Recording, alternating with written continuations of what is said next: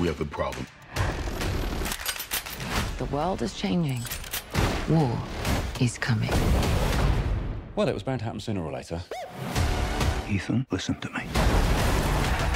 The world's coming after you. Stay out of my way.